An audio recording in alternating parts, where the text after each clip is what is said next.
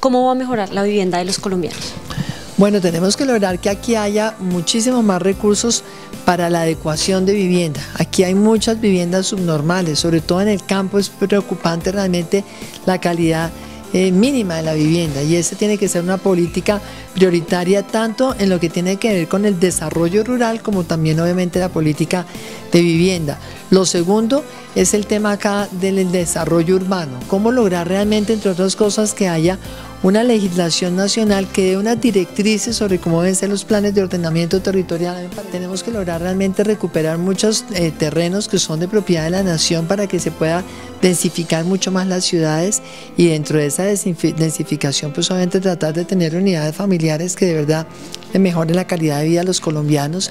En la vivienda de interés social me parece que es importante favorecer muchísimo más obviamente las mujeres que son cabeza de familia, las madres comunitarias, privilegiar de alguna manera a la mujer que está sola eh, y también obviamente la vivienda, por ejemplo, para los soldados y policías, los que han prestado el servicio militar, me parece que tiene que ser prioridad, pero al común de los colombianos, darle unos, acceso a unos buenos sistemas de financiación.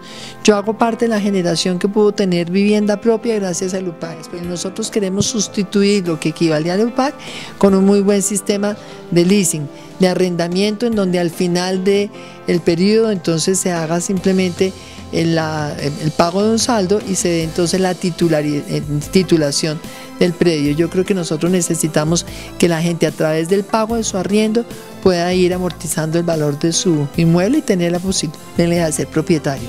¿Qué pensamos con el tema de los subsidios? Yo creo que sí hay que seguir eh, subsidiando una cuota, una parte de la vivienda, pero viviendas regaladas no, eso no es realista, eso además no es sostenible desde el punto de vista económico.